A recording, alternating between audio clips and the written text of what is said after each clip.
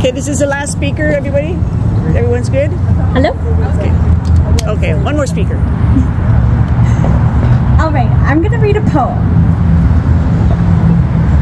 At this moment, hundreds of millions of us, we with gills, we with hooves, with scales, we with eyes, we with feet, we with feathers, we with fur, we with spines, and we without. We mothers, we with hearts, we with babies. At this moment.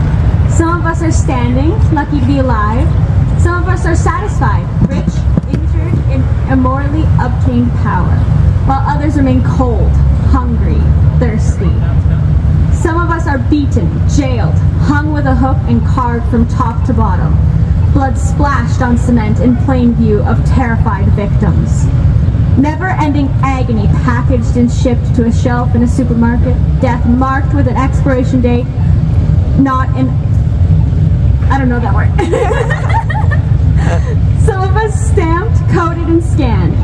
At this moment, we are breathing the same poison, thinking, not thinking, trying to forget, trying to drown out the truth, begging, screaming, trying to run, trying to escape the gun, the knife, the machine, the man, the men who make all the decisions and amass all the money, blood money.